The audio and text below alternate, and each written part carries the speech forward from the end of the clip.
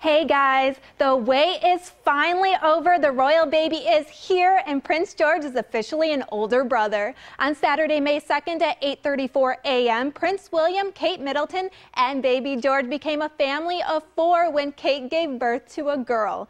It was a long wait from Kate's initial due date, but once the announcement was made that Kate had gone into labor, it was within hours that the baby was born. This was the same hospital wing that Prince George was born in in 2013. The announcement was made in traditional fashion with an easel placed in front of Buckingham Palace announcing the gender, a girl. And just a few hours after that, the baby made her appearance outside of St. Mary's Hospital in London.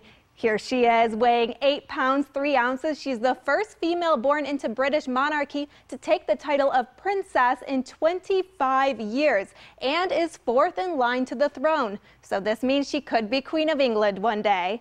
Baby Prince George made an appearance meeting his new sister at the hospital, and he had the royal wave down. He's seriously too cute for words.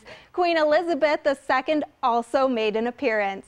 Now, the big question is, what will the baby's name be? And today it was announced. There were assumptions that it could be Charlotte, the feminine form of Charles, Alice, Elizabeth, or Diana. And it turns out it's pretty much all of those. Her name is Princess Charlotte Elizabeth Diana.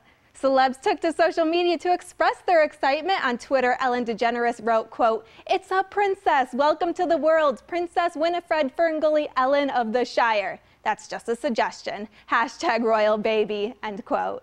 The family is now back home in Kensington Palace with their new daughter. Congratulations to the royal family. Back to you, Tina and Heather.